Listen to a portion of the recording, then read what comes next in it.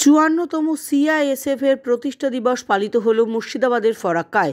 ফরাক্কা মাঠ প্রকল্পে সিআইএসএফের তরফ থেকে শুক্রবার সকালে ফরাক্কা ব্যারেজ ফুটবল ময়দানে প্রতিষ্ঠা দিবসের আয়োজন করা হয়। উপস্থিত ছিলেন ফরাক্কা বাঁধ প্রকল্পের general manager R D Deshpande, Farakka বাঁধ প্রকল্পের এক্সিকিউটিভ ইঞ্জিনিয়ার সন্দীপ কুমার সিআইএসএফের কমান্ড্যান্ট ও সিআইএসএফের জওয়ানরা।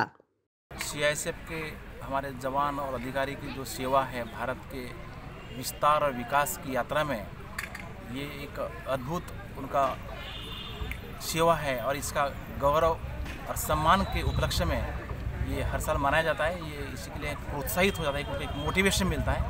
और ये बहुत यहाँ पर भी मनाया जा रहा है, बहुत सुंदर तरीके से हुआ है और इसके लिए मैं उनको सब अभिनंदन और बधाई देता हूँ।